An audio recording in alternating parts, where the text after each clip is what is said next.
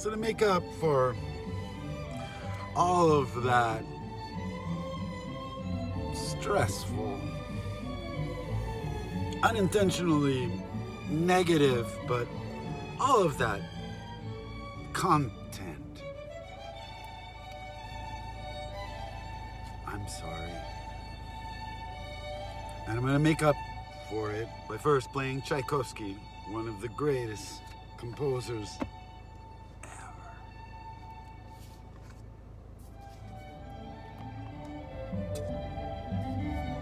By not ruining it this time by saying, Do you know how he committed suicide? This Tchaikovsky. He got pissed off at a lover. He's like, Dude, that's how you feel about me? Do you know, like, how Van Gogh just sliced an ear to be like, really? That's how you think I feel? Really? You feel like this? So he drank the water. He just took a cup of water, this Tchaikovsky, knowing that it'll be weeks of insanity and sickness. That it's unfathomable that you would do that.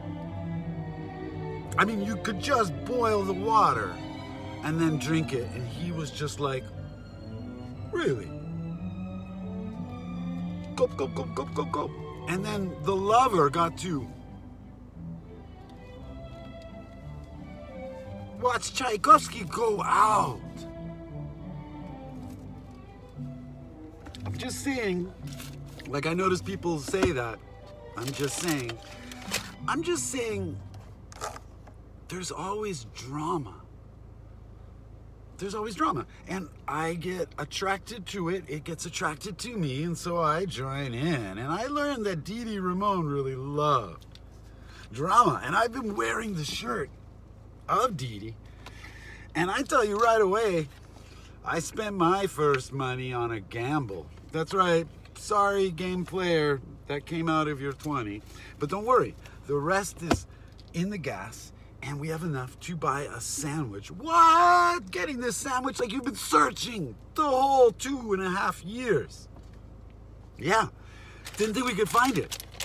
It turns out there's a student and she's got a parent and they live in this carpinteria that's like in California. It's a beach town. We can get there if there wasn't this traffic on all sides. So we're taking our time.